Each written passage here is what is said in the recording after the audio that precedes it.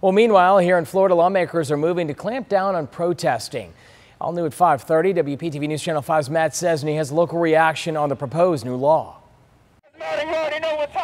It was the summer of 2020, and protests over George Floyd's death were in almost every city. Weidmayer Pierre was a big part of them in West Palm Beach. No, we're not trying to fight police officers. Even now, as protests continue in Minnesota, I did have second thoughts. the 20 year old wonders about the future of demonstrations in Florida. We have proposed the strongest anti rioting, pro law enforcement reforms. As state Republicans, led by the governor, seem united in passing one of the most restrictive laws on public protesting. It has drawn very distinct lines among opponents and supporters. Now these rioters are going to think twice, especially in Florida. I think the bill is a first step to creating a police state. State Representative Omari Hardy of Lake Worth, who took part in some Black Lives Matter marches last summer, says the bill gives authorities the ability to charge all protesters if violence breaks out or property is damaged. All of the things that are covered in this bill are already covered under the criminal law.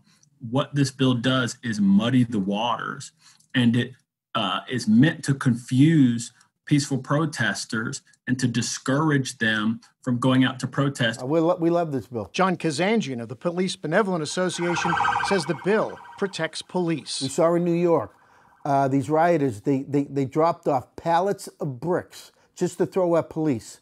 They dropped off cases of ice water to throw them at police officers.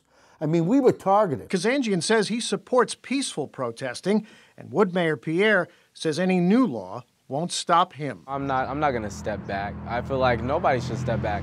This is your first amendment right, you know. Given the advantage Republicans have in the state capitol, passage of the bill is almost assured. Yet Democrats say it will likely also face a legal challenge as to whether or not it's constitutional. In West Palm Beach, Matt Sczesny, WPTV, News Channel 5.